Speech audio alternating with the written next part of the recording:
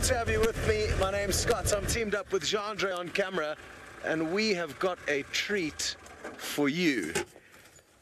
There, as you can see, is a setting sun, and there is one of five male cheetahs, and we're going to get some incredible views of them silhouetted against this wonderful sunset. We've literally just come across them just in the nick of time.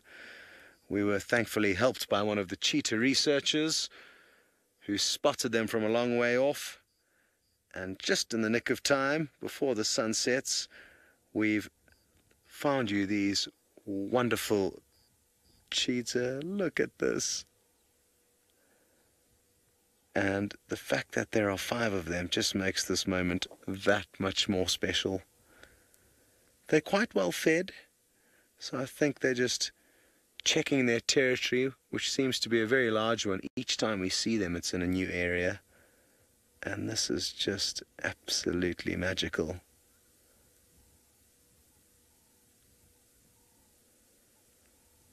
Whew.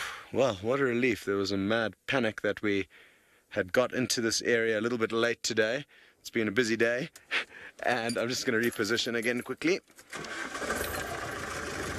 And we were worried we weren't going to find these guys. We're planning on spending the night with them so that we can wake up first thing in the morning and make sure we get you guys as much action as possible from them.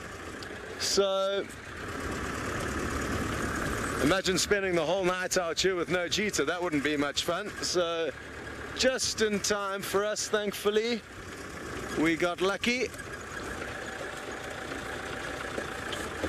Okay. I think this might be another good spot to wait. There goes the cheetah researcher, Eleanor, who I'm sure you guys will meet at some time. Hello, R. Beard.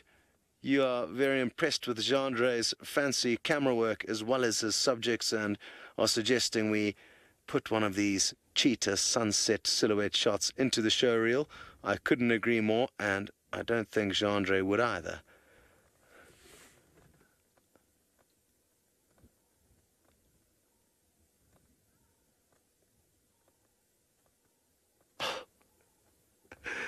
this is too good.